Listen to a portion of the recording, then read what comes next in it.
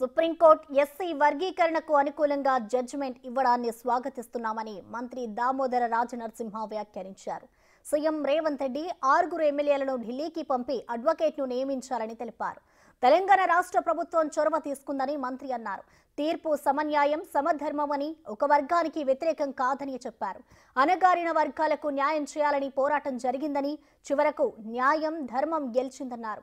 CM Revanth రెడ్డిని అభినందిస్తున్నామన్నారు Damodar Raju Narasimha SC వర్గీకరణ కోసం పోరాటం చేసి అమరులైన వారి ఆత్మకు శాంతి చేకూరాలని తెలిపారు. ఆరు మంది శాసనసభ్యులను ఢిల్లీకి పంపించి అక్కడ అడ్వకేట్ నియమించడం ప్రభుత్వం కమిట్మెంట్ తోటి వర్గీకరణ కమిట్మెంట్ తోటి న్యాయస్థానంలో కూడా రాష్ట్ర ప్రభుత్వం అన్న వాదన వినిపించారు ఈరోజు ఈ తీర్పుని హృదయపూర్వకంగా స్వాగతిస్తున్నాం ఈ తీర్పు అనేది సమన్యాయం సమధర్మము ఉద్యోగ విద్యా రంగాలలో ఒక న్యాయబద్ధంగా ముందుకు పోవాలి. అలగారిన వర్గాలకు న్యాయం చేయాలని సందేశంతో పోరాటం జరిగింది. ఈరోజు న్యాయము ధర్మము గెలిచింది. హృదయపూర్వకంగా మా ముఖ్యమంత్రి గారిని అభినందిస్తున్నాను. సంపూర్ణంగా ఈ యొక్క జడ్జిమెంట్ని రాష్ట్ర స్థాయిలో మేము ఇంప్లిమెంట్ చేస్తాం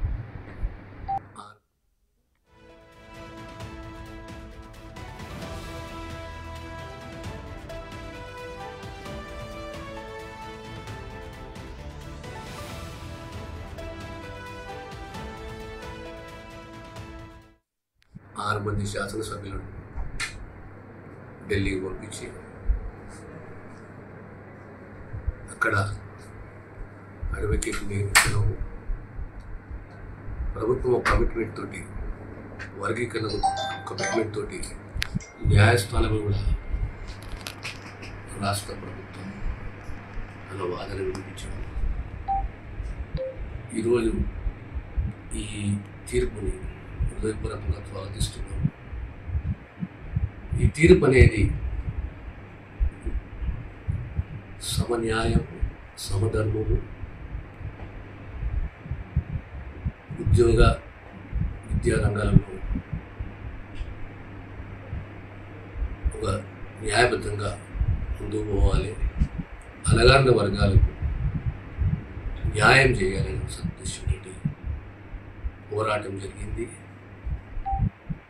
ఈరోజు న్యాయము ధర్మము గెలిచింది హృదయపూర్వకంగా మా ముఖ్యమంత్రి గారిని అభినందిస్తున్నాను. సంపూర్ణంగా ఈ యొక్క జడ్జిమెంట్ని రాష్ట్ర స్థాయిలో మేము ఇంప్లిమెంట్ చేస్తాం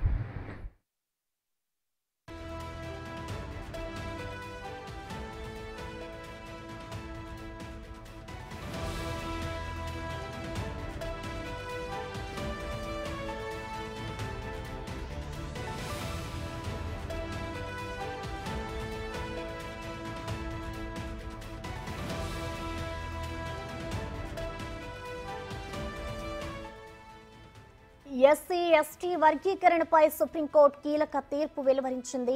ఎస్సీ ఎస్టీలలో ఉపవర్గీకరణను సమర్థించింది. సుప్రీంకోర్టు ప్రధాన న్యాయమూర్తి జస్టిస్ చంద్రచూడ్ నేతృత్వంలోని ఏడుగురు న్యాయమూర్తుల ధర్మాసనం తీర్పిచ్చింది. రాష్ట్ర ప్రభుత్వాలకు అధికారం ఉందని సుప్రీంకోర్టు స్పష్టం చేసింది. విద్యా ఉద్యోగాల్లో రిజర్వేషన్ల కోసం వర్గీకరణ చేసేందుకు గ్రీన్ సిగ్నల్ ఇచ్చింది. ధర్మాసనంలోని ఏడుగురు సభ్యుల్లో జస్టిస్ త్రివేది వర్గీకరణను వ్యతిరేకించారు.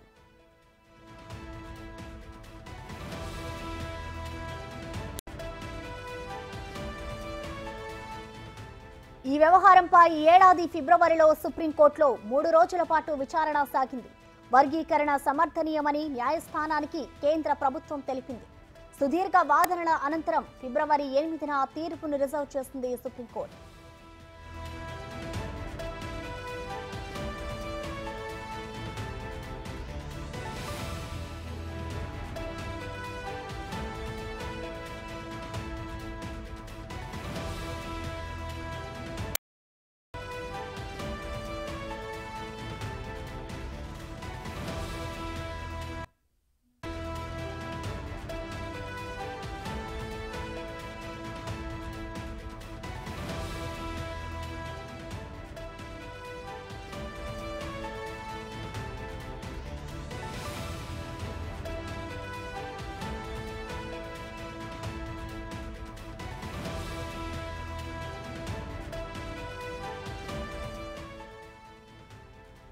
ఎస్సీ ఎస్టీ వర్గీకరణపై సుప్రీంకోర్టు